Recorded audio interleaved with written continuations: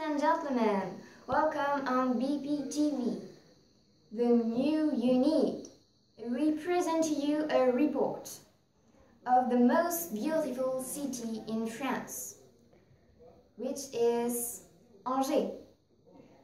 We report by Ariel Guinet, Paul Marino, Sandra Leborgne, and Ocean Vory, the best team.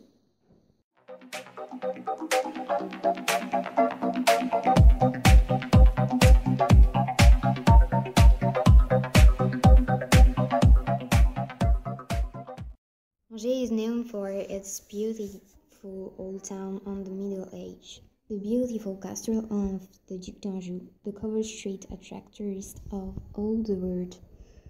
The St. Maurice Cathedral dominated the city with its 19 meter high built yet Gothic steels. Columbus is a very famous coffee shop in Angers where you can drink lots of different drinks like coffee, cappuccino with many tastes, fruit juice and also food like cupcakes. All people go there to spend time with their friends. Fast food like McDonald's are also famous in Angers. There are also bio fast food if you don't like junk food. There are many bars in each street of Angers. La Mie Câline is a famous bakery known for its great cookies. The most famous sports in Angers are football with the Angers SCO team, also hockey with the Duc d'Anjou, who is one of the most famous teams in France. And running is of course famous with many parks to run. Angers has many clothes shops like H&M, BSB, Zara. All the day many people come here to do shopping.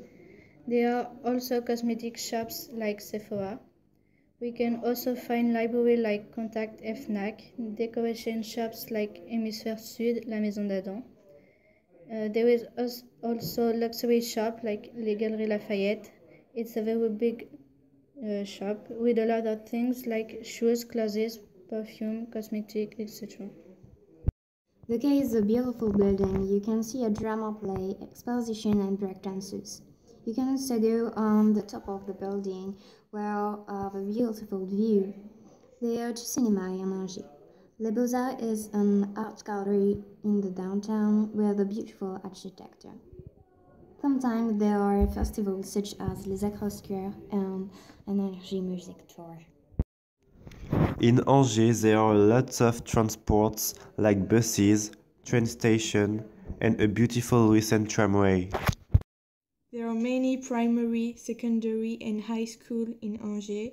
There are also faculty like uh, economy, French, tourism, a big university library too, but also art school and science school.